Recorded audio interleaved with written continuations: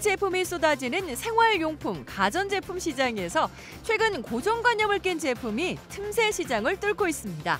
사무실 서류 정리함에서 아이디어를 얻었다는 냉장고 정리함. 서랍처럼 손쉽게 넣고 뺄 수 있고 공간을 효율적으로 사용할 수 있어 좋은 반응을 얻고 있다고 합니다. 드라이어, 클렌저, 제모기, 발각질 제거기, 속눈썹 손질기까지 미용용품들은 작은 크기가 대세인데요.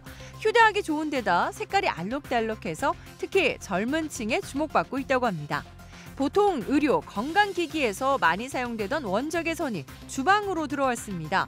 연기와 냄새 걱정 없이 고기나 생선을 구워 먹을 수 있어 주부들의 관심을 끌고 있다는군요. 영화관이나 놀이공원에서 고소한 맛과 냄새로 코와 입을 자극하는 버터 오징어. 간식이나 야식으로 제격이죠. 오늘의 한 끼 뚝딱 냄새로 먼저 유혹하는 버터 오징어 만들기 시작합니다. 준비물은 버터와 설탕, 땅콩 버터잼과 오징어채인데요.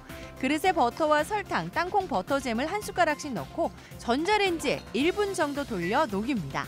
소스를 잘 섞은 다음 오징어채에 넣고 손으로 조물조물 달궈진 프라이팬에 버터를 살짝 두르고 소스에 버무린 오징어채를 넣어 약한 불로 볶으면 끝.